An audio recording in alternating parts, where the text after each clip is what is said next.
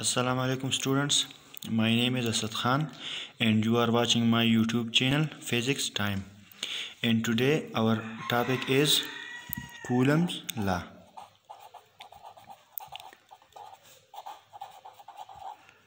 ठीक है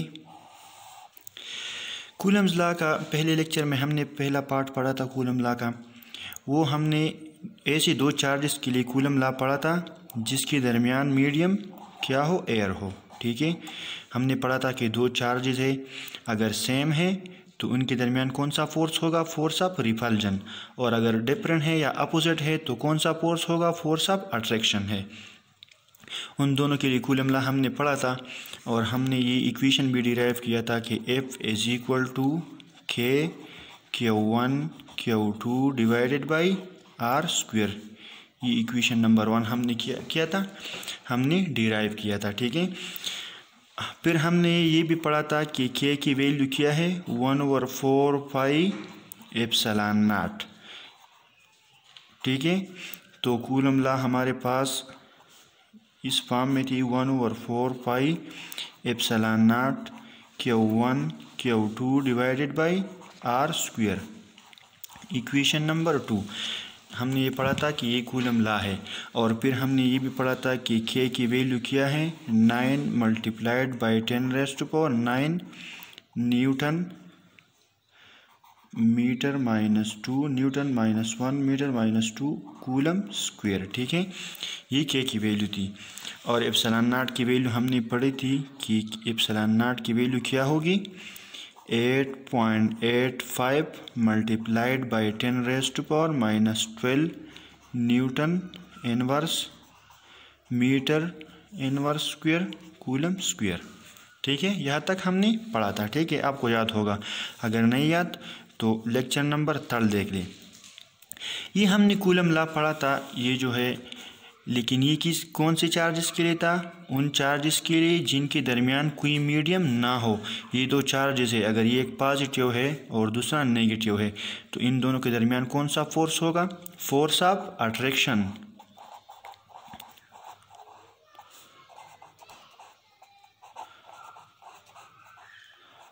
और इस, इन दो चार्जेस के लिए हमने कूलम ला ये पढ़ी थी, लेकिन ये उन सिचुएशन में है। अगर दोनों चार्जेस के दरमियान कोई मीडियम ना हो, जब कोई मीडियम ना हो तो मीडियम क्या होती है? एयर होती है या वैक्यूम कूलम ला हमने पढ़ा था, लेकिन उन चार्जेस के लिए, जिनके दरमियान कोई मीडियम ना हो, जिनके दरमियान मीडियम क्या हो? एयर हो या वैक्यूम हो? आज जो हमारा टॉपिक है, वो भी कूलम ला है, लेकिन किस चीज़ के लिए? When there are an, a dielectric medium between the two charges तो हम पढ़ेंगे कि coulomb's law for material medium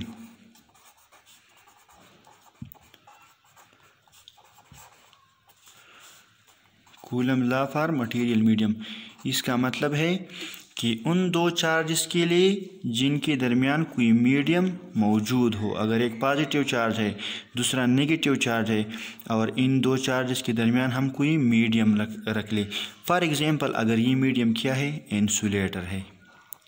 और इंसुलेटर का आपको पता होगा इंसुलेटर क्या होता है? वो चीज़ जिससे करंट पास नहीं हो सकती, ठीक है? तो उसको हम क्या कहते हैं? इंसुलेटर अब पहले अगर ये मीडियम ना हो तो इन दो चार्ज के दरमियान फोर्स ऑफ़ अट्रैक्शन होगा, लेकिन क्या होगा? ज़्यादा होगा। अब इनके बीच में एक इंसुलेटर आ गया तो ये फोर्स ऑफ़ अट्रैक्शन क्या होगा? रिड्यूस होगा, कम होगा। ये फोर्स ऑफ़ अट्रैक्शन को क्या करेगा? कम करेगा रिड्यूस करेगा। ये ये किसकी वजह से ये फोर्स ऑफ़ अट्रैक्शन रिड्यूस हो गया? इस मीडियम की वजह से। ठीक है? तो आज हम जो ये कूलम ला पढ़ रहे हैं, उन चार चार्जेस के लिए पढ़ रहे हैं जिनके दरमियान कोई मीडियम हो। ठीक है? या डाइलेक्ट्रिक मीडियम हो। डाइलेक्ट्रिक या इंसुलेटिंग मीडियम हो। तो इन दोनों चार्जेस के दरमियान फोर्स ऑफ़ अट्रैक्शन या अगर दोनों सेम चार्जेस है, एक पॉजिटिव है, दूसरा भी पॉजिटिव है, अगर इन दोनों के दरमियान हम कोई इंसुलेटर रखते हैं तो ये फोर्स ऑफ़ रिफल्जन है इन दोनों के दरमियान, लेकिन अब क्या होगा, कम होगा? किस चीज़ की वजह से? इस डाइलेक्ट्रिक की वजह से, ठीक है? ये कम होगा। और इस प्रॉपर्टी को, ये प्रॉपर्टी ये मटेरियल की वो प्रॉपर्टी जो दो चार्जेस के दरमियान फोर्स ऑफ़ अट्रैक्शन या फोर्स ऑफ़ रिपल्जन को जो इफ़ेक्ट करता है, कम करता है मीडियम की इस प्रॉपर्टी को हम क्या कहते हैं? परमिटिविटी परमिटिविटी तो अब आप लोगों को क्लियर होगा कि परमिटिविटी क्या है? ये मीडियम की वो प्रॉपर्टी है जो दो चार्जेस के दरमियान फोर्स ऑफ़ अट्रैक्शन या दो चार्जेस के दरमियान जो फोर्स ऑफ़ रिपल्जन होता है, उसको क्या करता है? कम करता है। उस प्रॉपर्टी को क्या कहते हैं हम? परमिटिविटी तो हम इसको परमिटिविटी को इस तरह डिफाइन करेंगे कि the property of a material of a material medium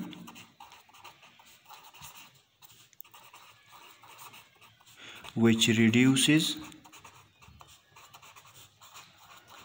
which reduces force of attraction, R. ये तो हमें पता है कि फोर्स तो सिर्फ़ अट्रैक्टिव फोर्स नहीं होगी फोर्स ऑफ़ रिपल्जन भी तो हो सकती है। तो हम कहते हैं कि वो प्रॉपर्टी जो दो चार्जेस के दरमियान फोर्स ऑफ़ अट्रैक्शन या फोर्स ऑफ़ रिपल्जन को, और फोर्स ऑफ़ रिपल्जन को क्या करता है? रिड्यूस करता है। Which reduce is force of attraction force of repulsion between two charges ठीक है? किसी मटेरियल की वो प्रॉपर्टी जो दो चार्जेस के दरमियान फोर्स ऑफ़ अट्रैक्शन या फोर्स ऑफ़ रिफल्जन को कम करे, उस प्रॉपर्टी को हम क्या कहते हैं? परमिटिविटी ऑफ़ देट मीडियम ठीक है तो आज हम कुल अमला तो पढ़ रहे हैं, लेकिन किन चार्जेस के लिए पढ़ रहे हैं? उन चार्जेस के लिए जिनके दरमियान कोई मटेरियल मीडियम हो। और हमें पता है कि कुल अमला इस तरह के है one over four five epsilon naught Q one Q two divided by R square उन चार्जेस की दर, के लिए है ये ला, जिनके दरमियान कोई मटेरियल मीडियम ना हो तो हम क्या लिखेंगे? एप्सलान नाट लिखेंगे।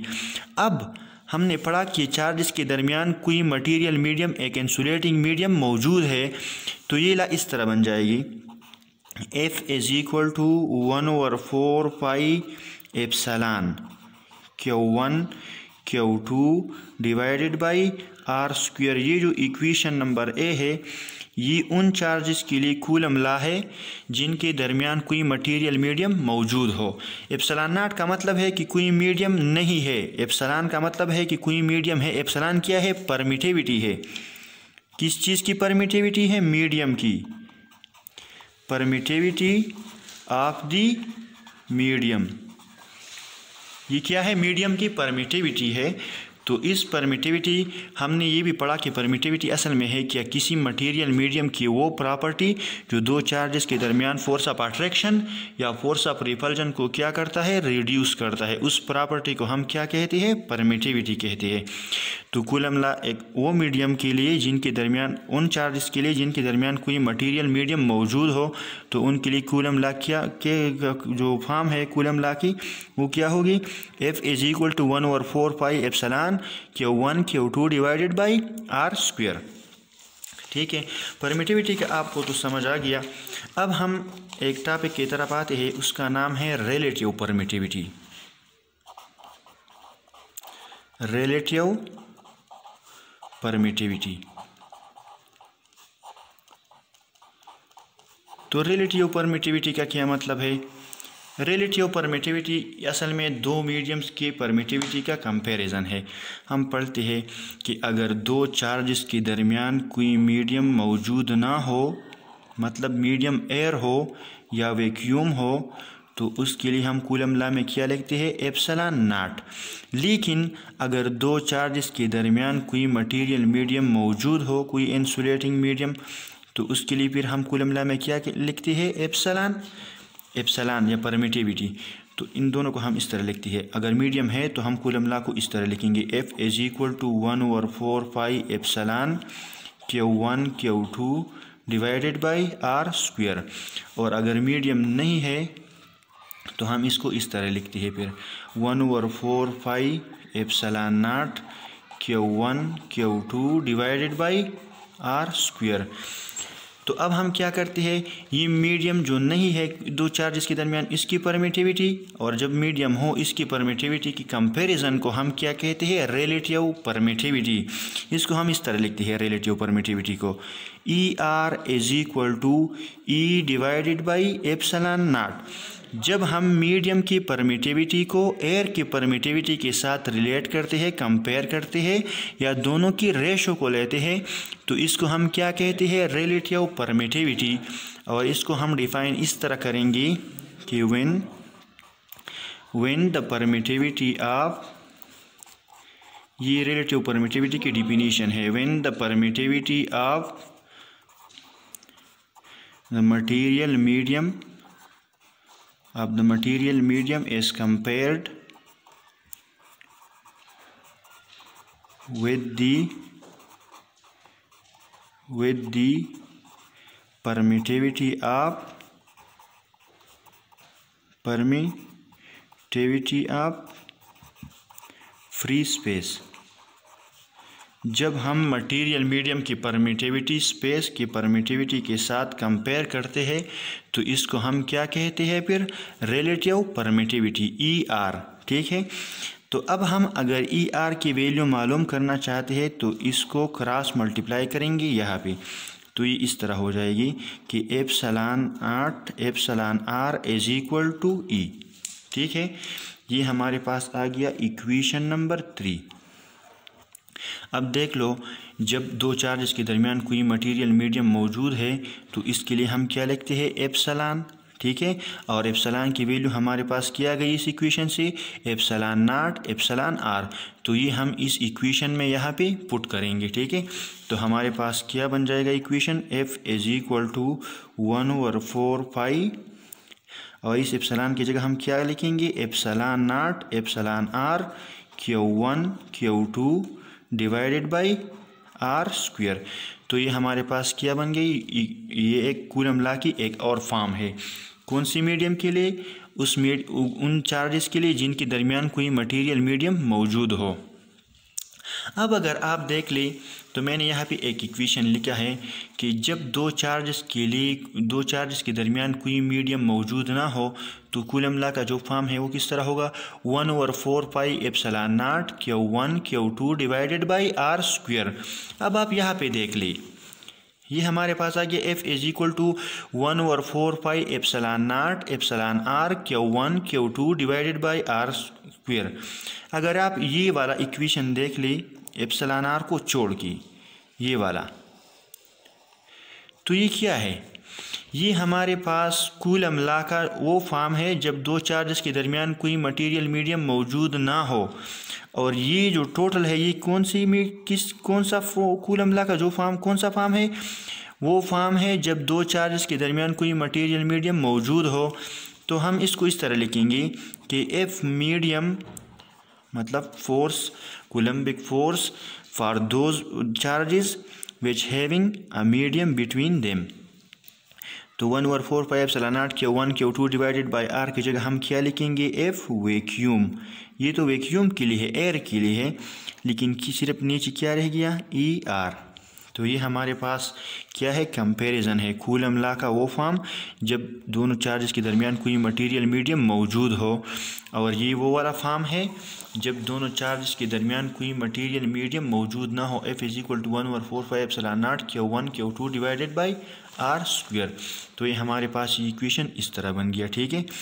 तो इस चीज़ को हम क्या कहते हैं? रिलेटिव परमिटिविटी और रिलेटिव परमिटिविटी का डिफिनीशन मैंने आपको बता दिया कि जब हम मीडियम की परमिटिविटी को एयर के परमिटिविटी के साथ कंपेयर करते हैं तो इसको हम क्या कहते हैं? रिलेटिव परमिटिविटी ये देख ले।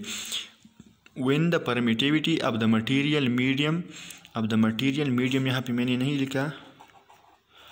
तो यहाँ पे आप मीडियम लिख ली when the permittivity of the material medium is compared with the permittivity of free space it is called relative permittivity हम इस तरह भी कह सकते हैं कि the ratio of the permittivity of material medium with the free space जब हम मटेरियल मीडियम की परमिटिविटी को फ्री स्पेस की परमिटिविटी के साथ रेशो लेते हैं या कंपेयर करते हैं, इसको हम क्या कहते हैं? रिलेटिव परमिटिविटी अब हमने फिर रिलेटिव परमिटिविटी की ये मटेरियल मीडियम की परमिटिविटी का जब वैल्यू मालूम करना चाहा तो इसको हमने क्रॉस मल्टीप्लाई किया यहाँ पे। तो ये आ गया epsilon naught epsilon R E और ये वैल्यू हमने वो इक्वेशन में पुट कर दी कहाँ पे? ये वाले इक्वेशन पे। F is equal to one over four pi epsilon K one K two divided by R square तो ये एप्सलान की जगह हमने ये वाली वैल्यू क्या कर दी? पुट कर दी। तो हमारे पास ये इक्वेशन आ गया और one over four pi epsilon naught K one K two divided by R square ये तो कूल अमला है किस चीज़ के लिए? वैक्यूम के लिए। तो इसकी जगह हमने एफ़ वैक्यूम लिख दिया और ई आर नीचे रह गया, ठीक है? तो आज का जो टॉपिक था वो क्या था? Coulomb law for material medium तो ये हमारा आज का टॉपिक था। लेकिन कुछ ऐसी मीडियम है जिसकी परमिटिविटी को मैं आपकी आपके लिए लिखता हूँ ये रिलेटिव परमिटिविटी वैक्यूम जो है वैक्यूम की रिलेटिव परमिटिविटी क्या है? वन है। ठीक है, ये relative permittivity of the vacuum है। एयर की क्या है? एयर की रिलेटिव परमिटिविटी है one point zero zero zero six ठीक है, ये डिफरेंट मीडियम की रिलेटिव परमिटिविटी बता रहा हूँ मैं आप लोगों को। इस तरह जर्मीनियम के लिए क्या है? जर्मीनियम जी ई जर्मीनियम इसको हम इससे रिप्रेजेंट करते हैं। जर्मीनियम के लिए रिलेटिव परमिटिविटी क्या है? सिक्सटीन है। और रबर के लिए कितनी है? रबर के लिए है टू पॉइंट नाइन फोर ठीक है स्टूडेंट्स तो ये था हमारा आज का टॉपिक और इसका नाम था coulomb law for the material medium उस मीडियम के लिए कूलम ला, जिनमें दोनों चार्जेस के दरमियान कोई इंसुलेटिंग या डाइलेक्ट्रिक मीडियम मौजूद हो। तो हमने पढ़ा कि जब दोनों चार्जेस के दरमियान कोई डाइलेक्ट्रिक या इंसुलेटिंग मीडियम मौजूद हो तो ये फोर्स ऑफ़ अट्रैक्शन या फोर्स ऑफ़ रिपल्जन क्या होगी? कम होगी, ठीक है? Thank you for watching my YouTube channel ठीक है? Thank you